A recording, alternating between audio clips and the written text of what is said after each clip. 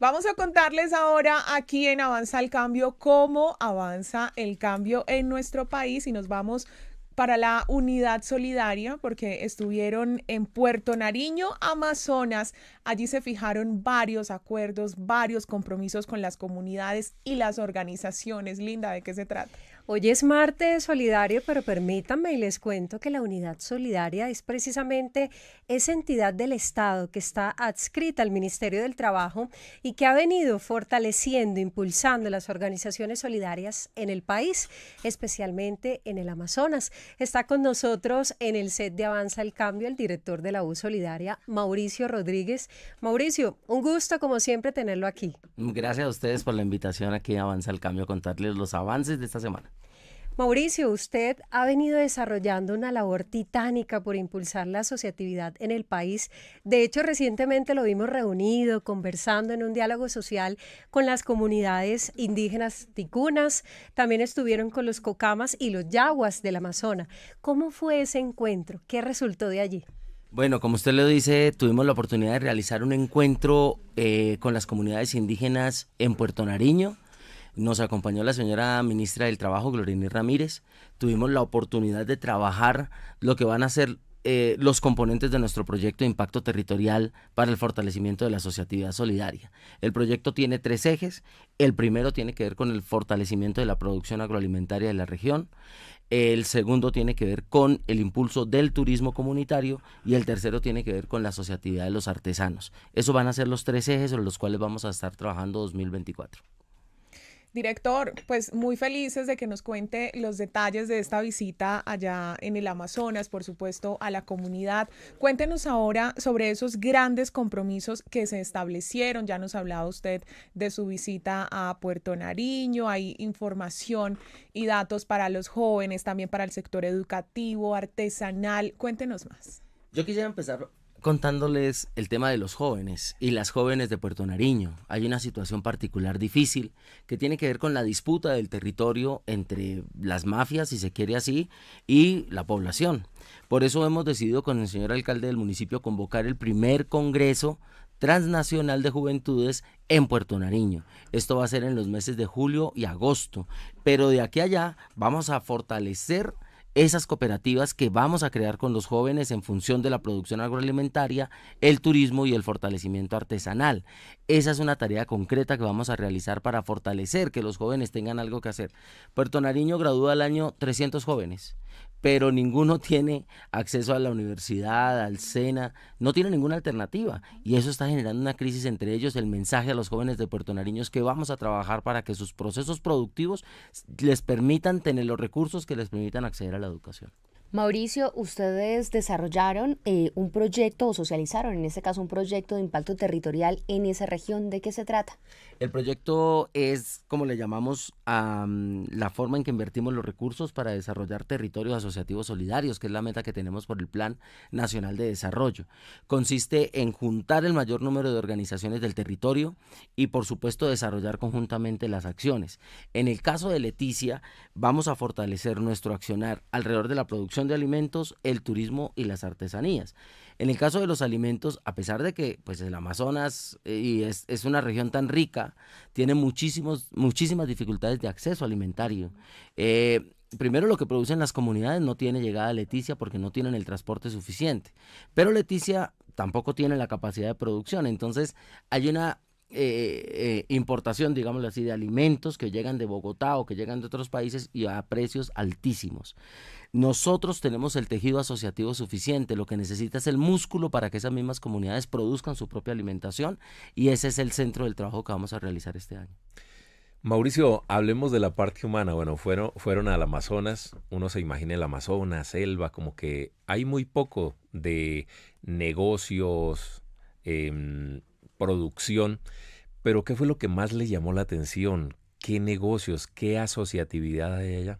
Pues eh, precisa, paradójicamente, como usted lo dice, hay un tejido asociativo bastante grande. Mire, nos encontramos con una región que tiene más de 60 cooperativas, no todas funcionando, con muchísimas dificultades porque tienen que hacerlo, digamos que contra la corriente, si se quiere. Pero también nos encontramos con un tejido empresarial muy importante, más de 200 pequeñas unidades productivas o microempresas o empresas unipersonales de esto que nosotros llamamos la economía popular. Hemos empezado un trabajo con esas empresas para integrarlas en el modelo cooperativo. Si logramos avanzar en esa integración, pues vamos a mejorar sus condiciones para desarrollar procesos alrededor del turismo. ¿Qué nos encontramos? Pues que como son tantas empresas, hay demasiada competencia entre ellas y la informalidad también genera un problema, porque obviamente no tienen la capacidad de sostenibilidad. Pero nos reunimos con los empresarios de la región, del sector hotelero, del sector transporte, del sector turismo, para ayudar a que esas pequeñas unidades productivas, utilizando la ley de emprendimiento, se conviertan en cooperativas si fortalecemos ese cooperativismo de ese, de ese entramado empresarial que ya tiene Leticia, vamos a fortalecer sus capacidades para prestar mejores servicios en turismo, en hotelería, en gastronomía, en transporte, en todo ese eh, circuito que se puede realizar allá para que la gente conozca esa maravilla natural. Director, cuéntenos entonces qué tipo de proyectos productivos van a apoyar, con qué se encontró. Ya nos mencionaba turismo comunitario, pero cuéntenos sobre otros. Vamos a fortalecer la producción de cacao. Ya Puerto Nariño tiene una industria del cacao, pero no tiene mercado. Todo se queda ahí.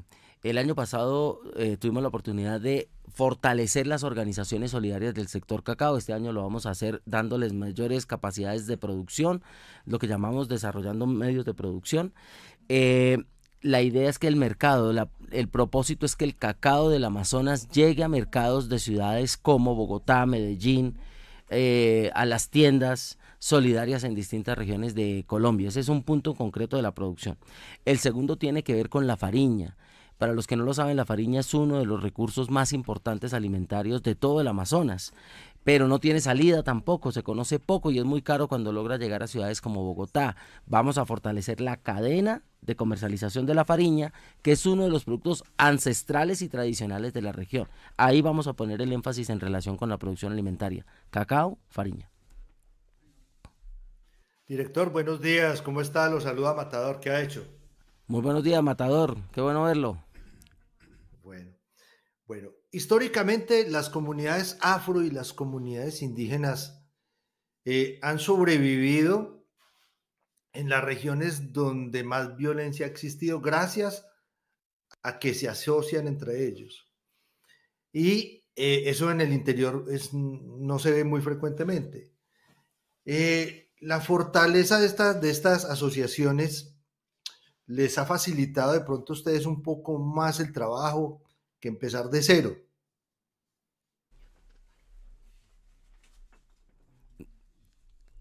Eh, ¿cómo, ha visto? Cómo, la pregunta es, si ¿sí, me escucho bien. Bueno, eh, ¿les ha facilitado más el trabajo a ustedes el hecho de que ya haya, existan una, un andamiaje cooperativo en las comunidades negras y en las comunidades indígenas? Cuando logramos trabajar directamente con esa asociatividad ya existente, pues avanzamos, digamos, en el sentido de no tener que empezar desde el contacto mismo y la generación de confianza entre ellos. Ahora, hay regiones donde se necesita fortalecer asociaciones. Yo le digo, por ejemplo, en el caso del Amazonas, hay una asociatividad muy importante en la producción alimentaria, hay una asociatividad sobre todo empresarial alrededor del turismo, pero no hay una asociatividad alrededor del artesanado. Los artesanos trabajan solos, cada uno desarrolla su talento y sus obras.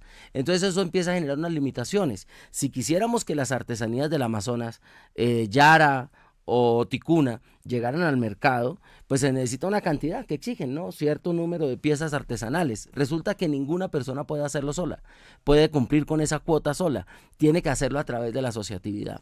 En esta visita que realizamos Matador estuvimos con la directora de Artesanías de Colombia, Adriana Mejía, porque ese es uno de los componentes del proyecto para fortalecer esa asociatividad. Creamos la Asociación de Artesanos de Puerto Nariño y entonces a través de esa asociatividad podemos poner mejores recursos para que mejoren sus capacidades de generación de obras, pero también su capacidad de comercialización. Y vamos a realizar una feria artesanal de Puerto Nariño ellos nos decían, miren, no, alcanzamos a llegar a Anato, no llegan a Anato porque están trabajando individualmente. Entonces vamos a llevar a la gente a Puerto Nariño en el marco de nuestro encuentro internacional de juventudes que realizaremos entre julio y agosto para que conozcan las artesanías que producen los pueblos Ticuna, eh, Yagua y Cocora. Bueno, y pues esperemos que entonces el próximo año puedan también ser parte de ANATO, que se convertiría además en un propósito, director. Tal cual, es traer a las, a nuestros, digamos, a nuestras grandes ciudades todo ese saber, esa experiencia del pueblo amazónico, facilitar sobre todo el acceso a la alimentación, apoyar el trabajo que están haciendo ya nuestras organizaciones productoras para que sus alimentos lleguen al mercado nuestro en mejores condiciones y a precios más justos. Y por supuesto que la gente vaya a conocer esta hermosa región, no solamente con esa perspectiva del, del turismo extractivista, ¿no? Gente que entra, nunca se conecta con las comunidades y vuelve y sale, sino que ese turismo se haga de la mano de las comunidades, de nuestros pueblos indígenas y por supuesto de nuestras organizaciones de la economía solidaria. Mauricio Rodríguez, director de la Unidad Solidaria, gracias por habernos acompañado aquí en Avanza el Cambio, contándonos sobre estos compromisos establecidos con la comunidad en Amazonas. Nos mencionaba usted apoyo a la asociatividad solidaria en temas relacionados con turismo comunitario, con cacao, también comercialización y farina. Que tenga un buen día. A ustedes muchísimas gracias.